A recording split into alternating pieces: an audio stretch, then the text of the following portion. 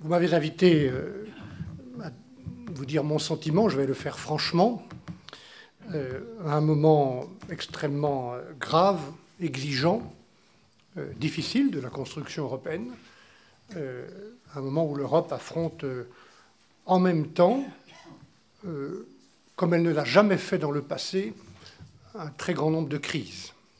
Certaines viennent d'ailleurs, la crise financière depuis cinq ans, qui n'est pas terminée et dont nous n'avons pas encore tiré toutes les leçons, et puis la crise de la dette souveraine, qui est une autre, encore qu'on trouverait des pays très endettés ou trop endettés ailleurs qu'en Europe, mais il y en a effectivement en Europe, euh, avec des conséquences économiques, sociales, euh, humaines, sans compter euh, certaines crises qu'on aurait tort d'oublier. Certaines crises peuvent être cachées par d'autres crises. Je pense à la crise alimentaire, aggravée par euh, la spéculation, la volatilité sur les prix de matières premières, parfois la spéculation, euh, qui touche 800 millions euh, d'êtres humains dans le monde. Et puis la crise qui, pour moi, la plus grave, la plus profonde, qui va bouleverser toutes nos habitudes, y compris le fonctionnement, la production des petites et moyennes entreprises, qui est la crise écologique, réchauffement climatique. Euh,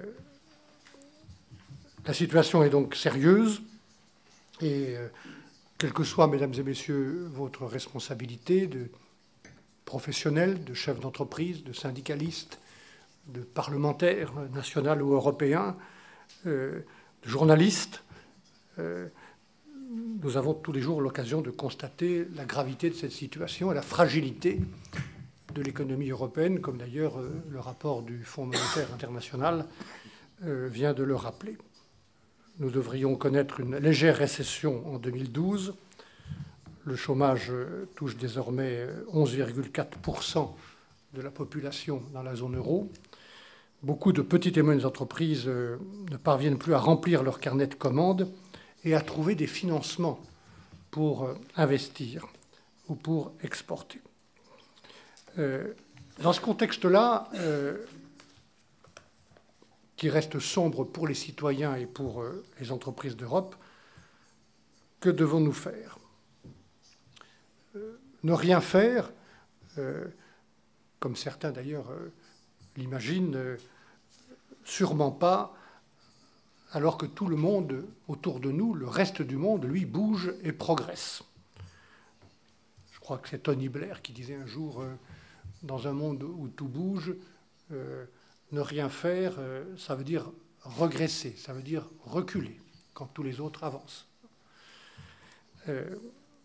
faire peur, on voit bien les discours qui se développent, plaidant pour des solutions protectionnistes, le repli national, le repli nationaliste quelquefois, et derrière ces discours-là, toujours davantage de protectionnisme. Ce n'est pas euh, ce à quoi je crois. Euh, je ne crois pas au remède miracle des populistes qui veulent quelquefois euh, dresser les Européens les uns contre les autres. Mesdames et messieurs, dans les circonstances actuelles, je pense profondément que le chacun pour soi ou le chacun chez soi ne nous mèneront nulle part.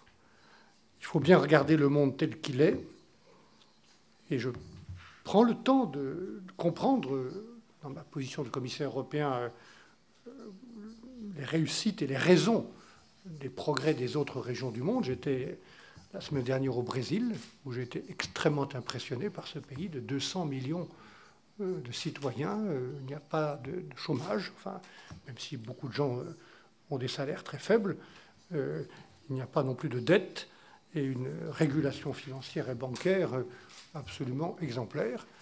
on voit bien les raisons du fait que ce pays a gagné sa place comme un, global player, hein, de manière définitive. dans ce contexte-là, vous avez un certain nombre de pays qui sont chacun à lui seul ou à eux seuls un État-continent. Le Brésil, la Russie, les États-Unis, la Chine, l'Inde, ce sont des pays qui ont la puissance, la population, les ressources naturelles, la superficie d'un État-continent. Et ils sont là, parmi euh, les global players, de manière définitive. Ce n'est le cas d'aucun pays européen à lui tout seul. Et si nous voulons être à cette table des global players, alors nous y serons en tant qu'Européens dans les 50 ou 60 ans qui viennent, ou nous n'y serons plus. Et voilà pourquoi la solution, la réponse à cette crise, elle passe par plus d'Europe et non pas moins d'Europe. Ça ne veut pas dire, mesdames et messieurs, que nous devons nous contenter d'exercer ou de mettre ensemble davantage de compétences au niveau européen, de mutualiser davantage, parfois de fédérer, euh, sans rien changer à l'Europe telle qu'elle est. Euh, moi, je m'exprime devant vous comme commissaire européen, c'est-à-dire comme un homme politique. Euh, je pense que nous devons construire une nouvelle Europe. J'ai d'ailleurs dit comment je vois les choses, dans quelle direction, il y a un an et demi, dans un discours devant Humboldt Universität à Berlin. Et ce que j'ai dit ce jour-là, le 9 mai 2011, je le pense toujours juste aujourd'hui. Une nouvelle Europe plus intégrée, donc plus forte, mais aussi euh, plus participative euh, avec les citoyens, plus humaine, mieux armée pour agir en faveur de la stabilité et de la croissance. Et euh, ce mouvement, mesdames et messieurs, en faveur d'une Europe qui sait se remettre en question, qui sait écouter les citoyens, qui agit en faveur euh, et de la stabilité, de la croissance, nous avons voulu l'engager en répondant point par point aux différentes crises qui nous ont ébranlés depuis cinq ans. Mais ce mouvement est un ongoing process. Un, nous avons répondu à la crise financière par un mouvement de régulation sans précédent. Depuis deux ans et demi, la Commission a proposé pas moins de 30 textes de régulation et de supervision pour mettre en œuvre l'intégralité des recommandations du G20 pour répondre à la crise. Et mon objectif n'a pas changé. Et nous le mettrons en œuvre jusqu'au bout de manière déterminée.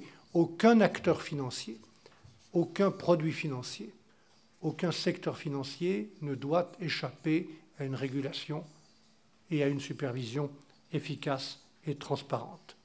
C'est une exigence de stabilité, c'est le comportement irresponsable d'un certain nombre de banquiers et d'acteurs financiers qui a cassé la croissance avec la crise. Euh, les marchés financiers sont nécessaires, ils sont utiles, nous en avons besoin pour financer l'économie, ils doivent être remis au service de l'économie réelle, des territoires, des PME, plutôt que d'être à leur propre service, comme on l'a vu euh, depuis 20 ans. Euh, cette exigence de stabilité, elle est là, c'est aussi pour nous une exigence de croissance. Si je prends des choses très concrètes, euh, je suis avec le Parlement et le Conseil des ministres dans la toute dernière ligne droite de la négociation à trois d'un texte majeur qui est Capital Requirement 4, qui est la mise en œuvre en Europe pour 8000 banques des règles de Bâle sur euh, les mesures prudentielles du secteur bancaire, nous sommes en train de parvenir à un accord euh, qui intéresse directement les PME euh, en tenant compte de leurs besoins de financement et en allégeant les mesures prudentielles imposées aux banques quand elles financeront le secteur de l'investissement des petites et moyennes entreprises. Et j'ai également lancé un certain nombre d'initiatives pour encourager l'investissement de long terme. Voilà le premier chapitre et la première réponse. Deux, nous prenons des mesures, nous agissons pour casser le lien néfaste qui existe entre les difficultés des banques et l'endettement des États.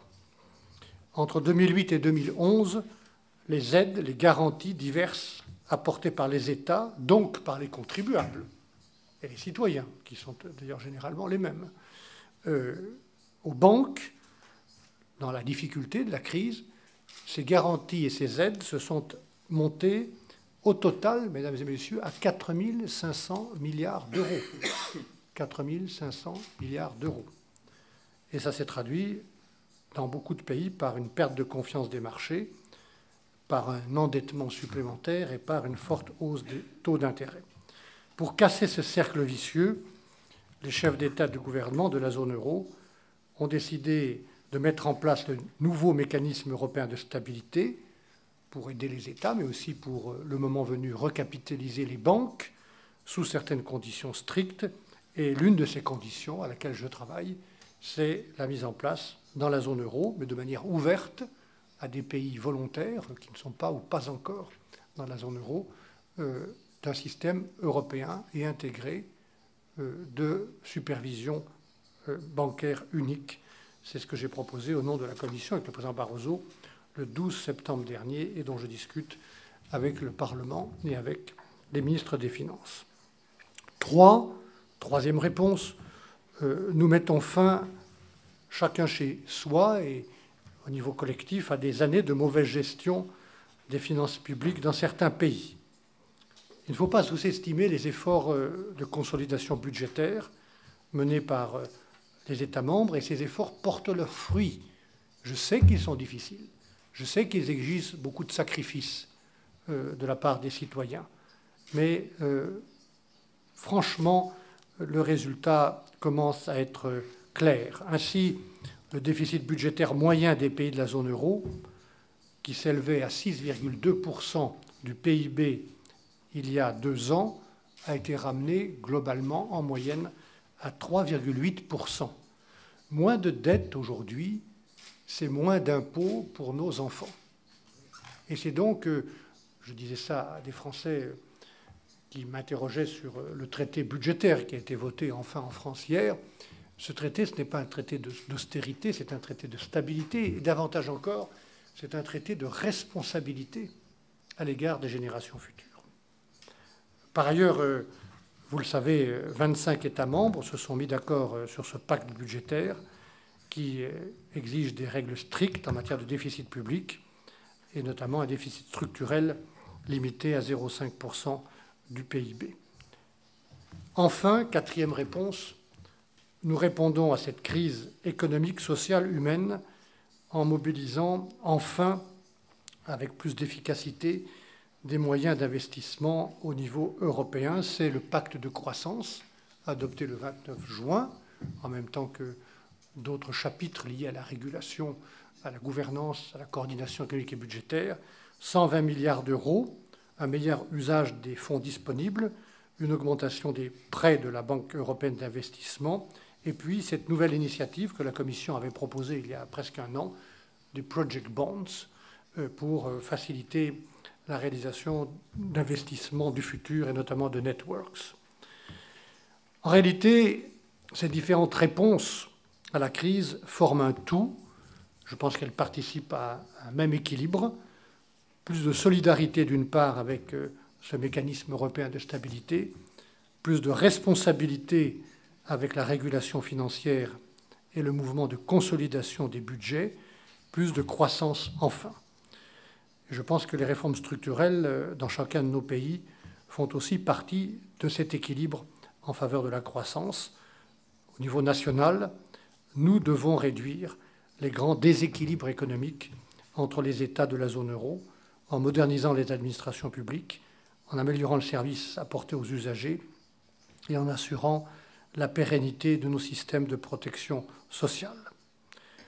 Nous devons aussi, au-delà du travail euh, chacun chez soi, euh, de consolidation et de réformes structurelles, agir au niveau européen en levant beaucoup d'obstacles qui existent encore trop souvent, euh, physiques, économiques, numériques, euh, empêchant les citoyens, les entreprises d'utiliser complètement le marché unique de 500 millions de consommateurs, de 22 millions d'entreprises et au milieu d'elles une immense majorité de petites et moyennes entreprises dont nous marquons euh, sur un grand marché les 20 années, comme vous l'avez dit, euh, cette année.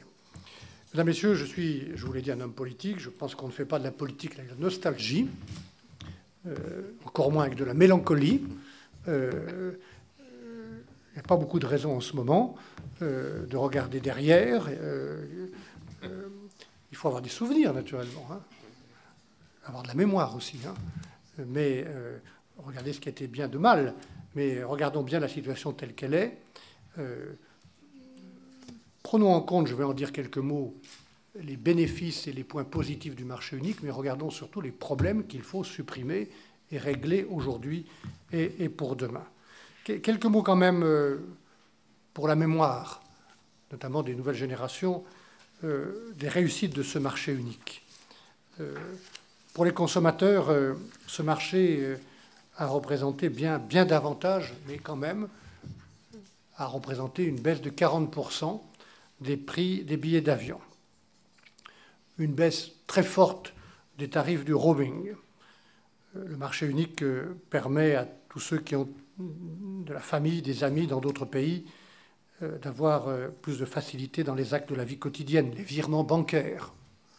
Et il y a encore des progrès à faire, mais ils sont devenus plus simples et gratuits dans la zone euro. ils le seront en tout cas complètement en février 2014. Un plus grand choix et une plus grande sécurité sur les produits que nous consommons, avec la traçabilité.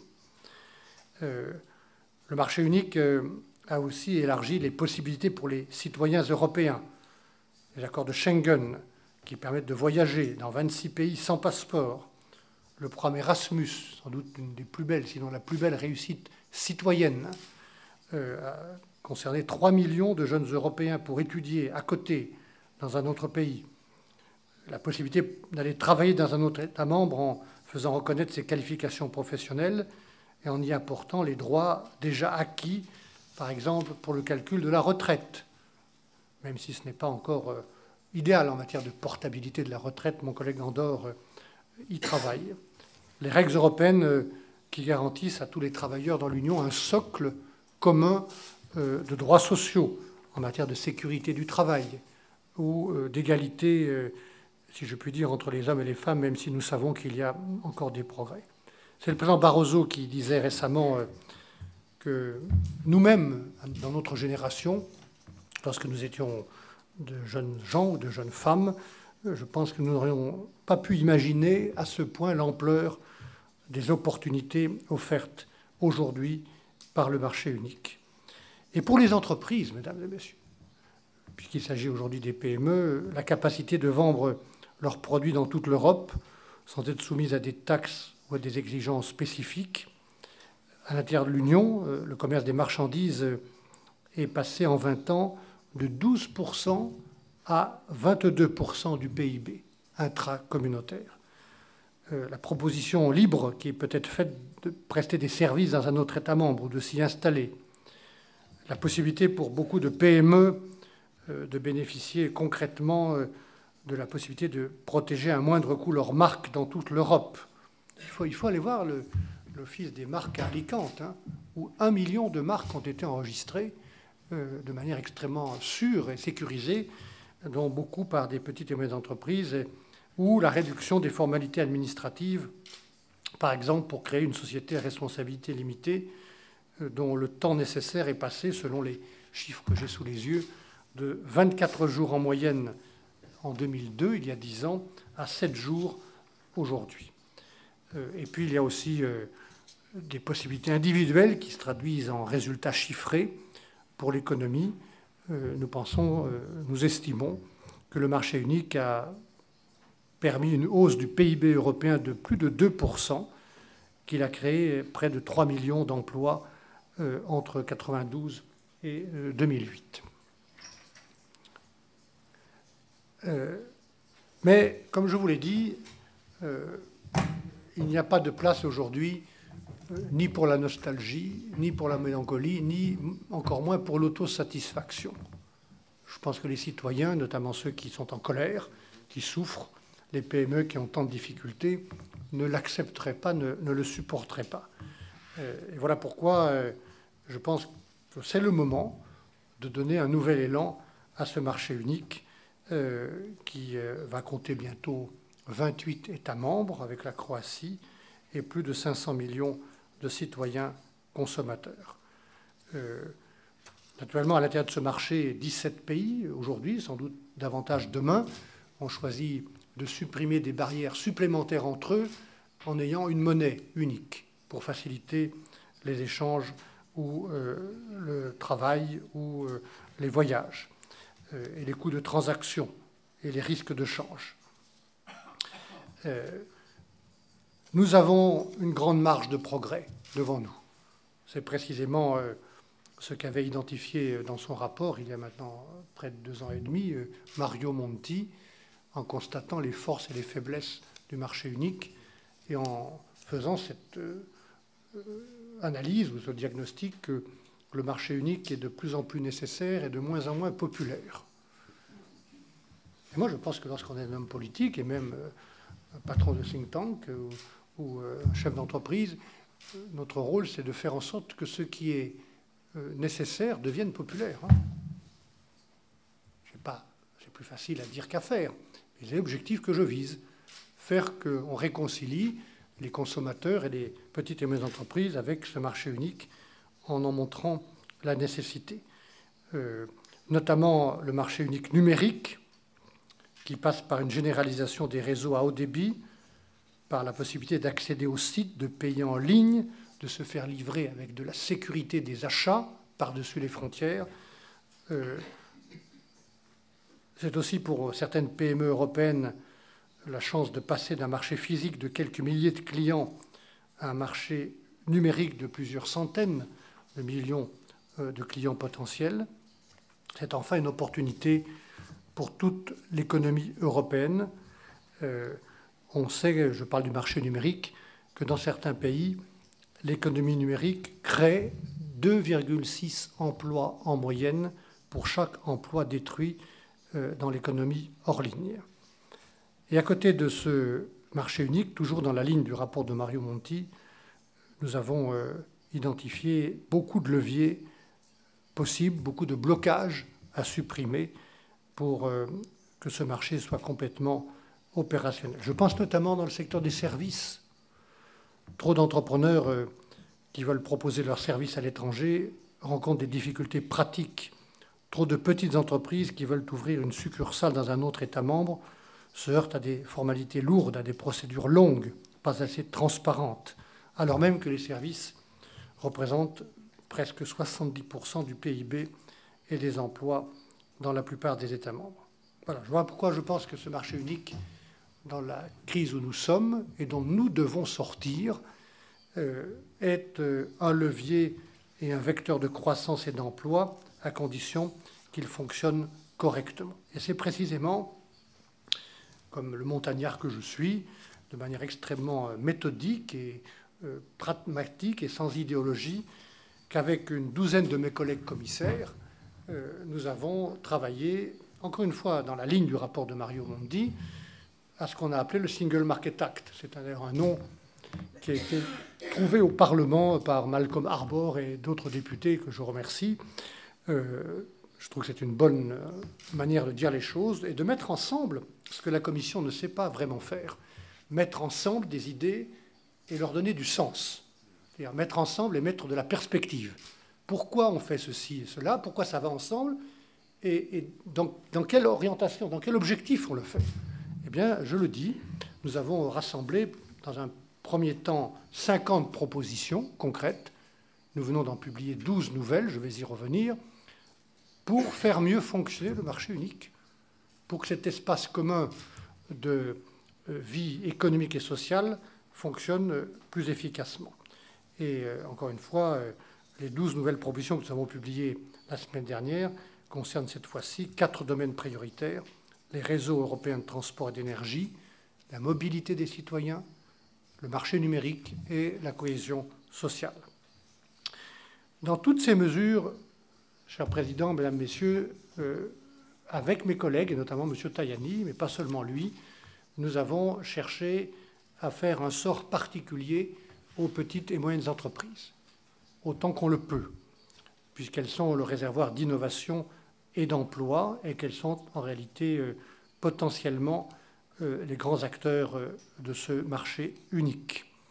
Je voudrais évoquer trois exemples. De ce marché unique au service d'une croissance durable et donc des, petites et moyennes entreprises, l'investissement de long terme, les réseaux, qui sont évidemment à l'intérieur de ce marché le moyen de mieux communiquer, d'échanger de l'énergie, de communiquer par Internet, euh, de se transporter ou de transporter des marchandises. Euh, et donc, euh, avec mes collègues Oettinger et Kim Kallas, nous allons donner un coup d'accélérateur à l'intégration des réseaux européens d'énergie de transport et aussi de réaliser le ciel unique européen. Le potentiel d'innovation, en grande partie dans les PME, c'est le passeport européen pour le fonds de capital risque, qui a été agréé ou qui est en voie d'agrément au Parlement et au Conseil. Et puis le fameux brevet unitaire européen. J'ai présenté ce projet il y a un an et demi. Honnêtement, je ne pensais pas que ce serait aussi compliqué. Mais ça fait quand même 35 ans qu'on l'attend. Je, enfin, je ne pensais pas qu'il y aurait autant de détails à régler, y compris des détails, euh, enfin, de points importants, mais que je n'avais pas imaginé comme des points de blocage. Par exemple, la situation du site de la Cour de, l'appel de la juridiction unique du brevet européen que Londres, euh, euh, Munich et, Paris euh, se sont disputés.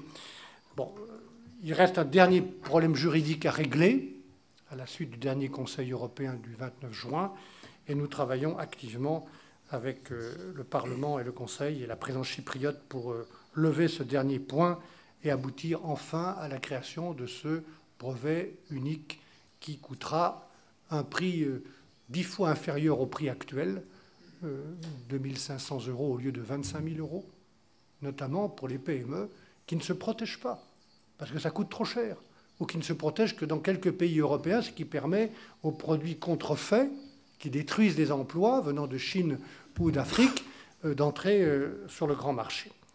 Voilà. Et puis, Mme Creuse travaille également euh, à développer le véritable marché unique numérique. Je pense aussi signaler dans, cet agenda très concret le travail que je fais avec mon collègue Almunia pour l'efficacité et la concurrence dans les services électroniques de paiement.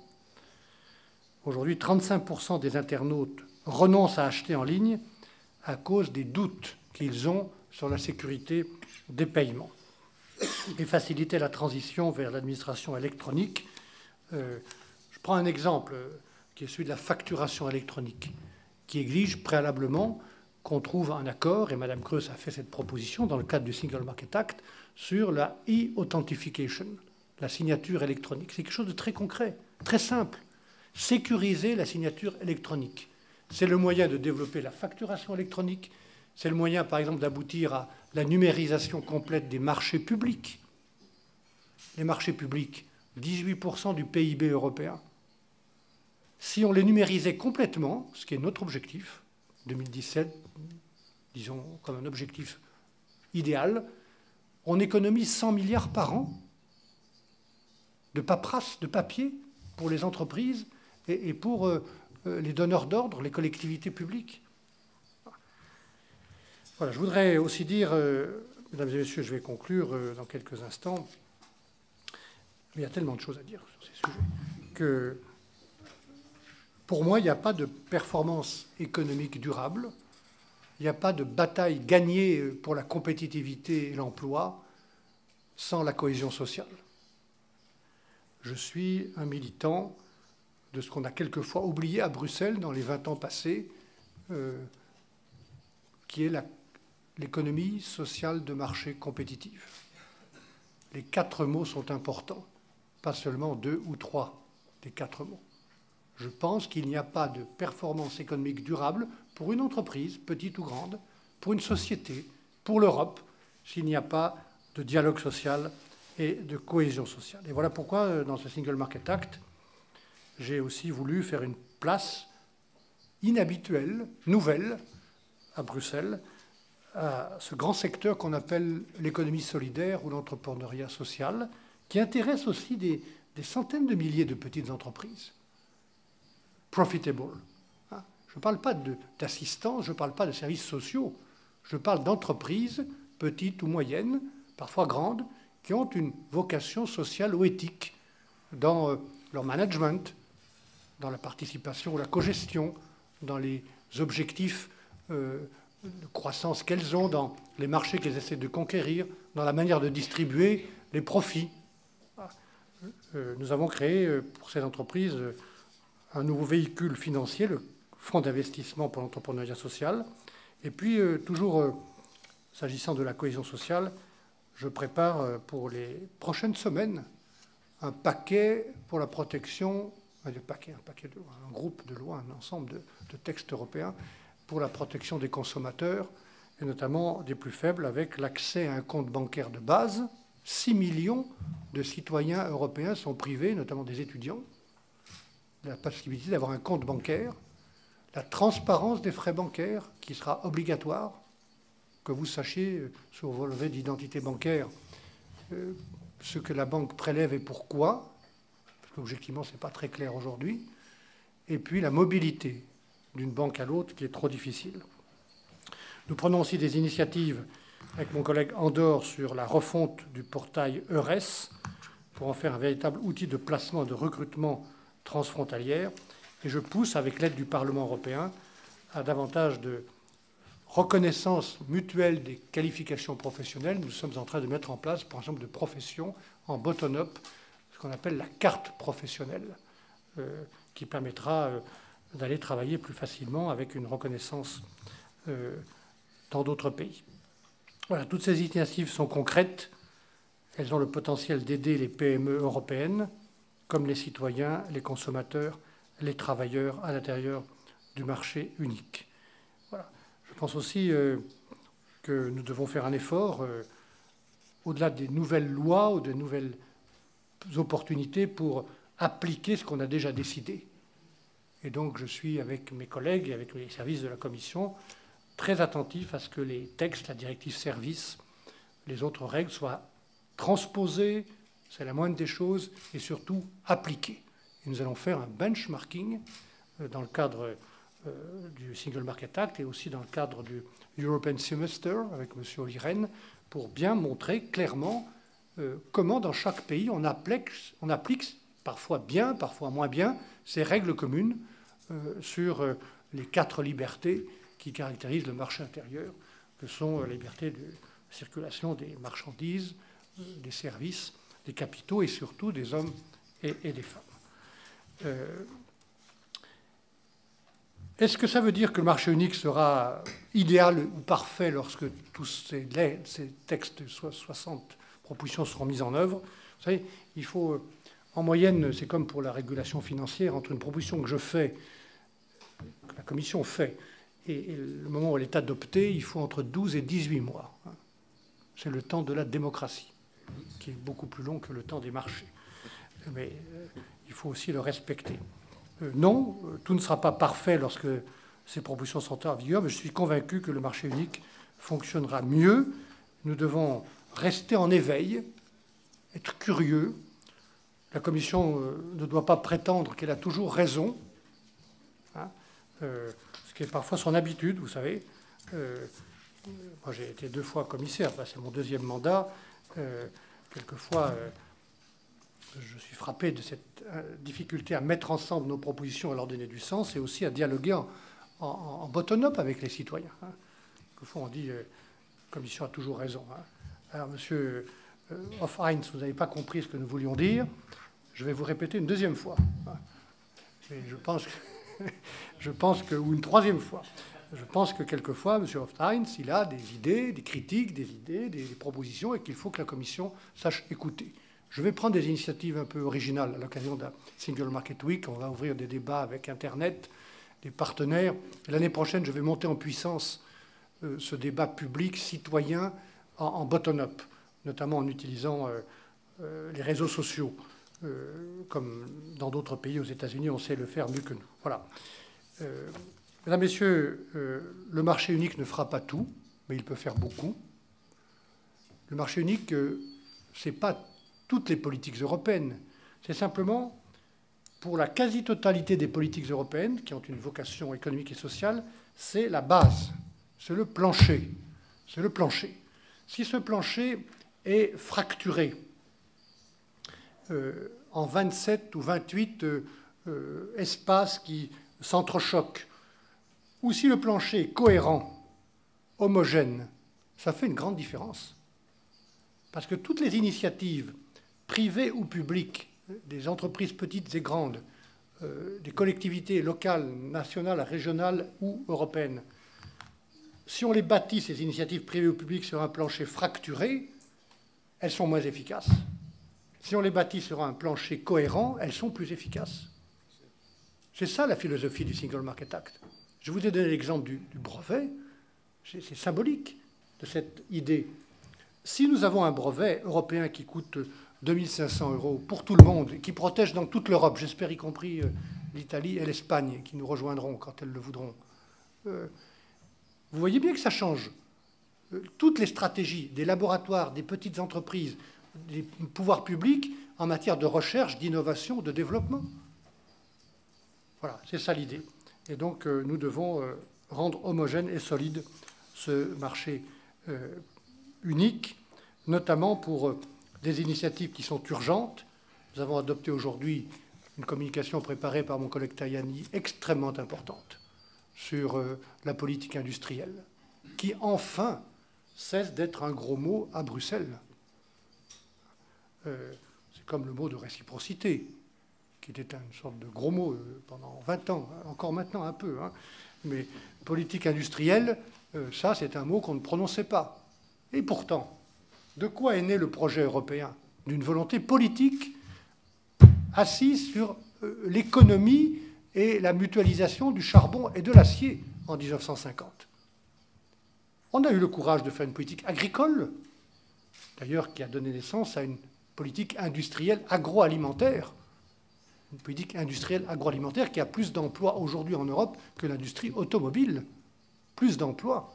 Et pourquoi on n'aurait pas le courage aujourd'hui, avec les méthodes d'aujourd'hui, les défis d'aujourd'hui, pas comme il y a 30 ans, euh, de faire une politique industrielle euh, conjuguant, encourageant, mobilisant les investissements publics et privés sur certains secteurs stratégiques.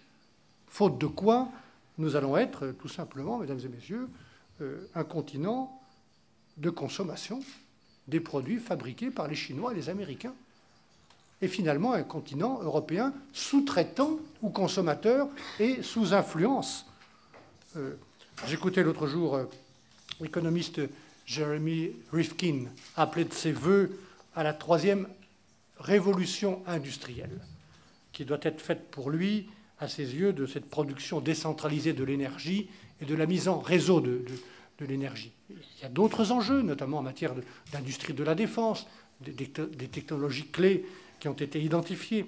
Moi, j'appelle de mes voeux, et je suis aussi revenu à Bruxelles pour ça, la mise en œuvre à travers la Commission, avec le soutien des États membres et du Parlement, d'une véritable stratégie européenne industrielle, que nous gardions ou que nous retrouvions une capacité de production manufacturière, moderne, euh, en Europe, plutôt que d'être simplement une euh, terre de consommation et de services.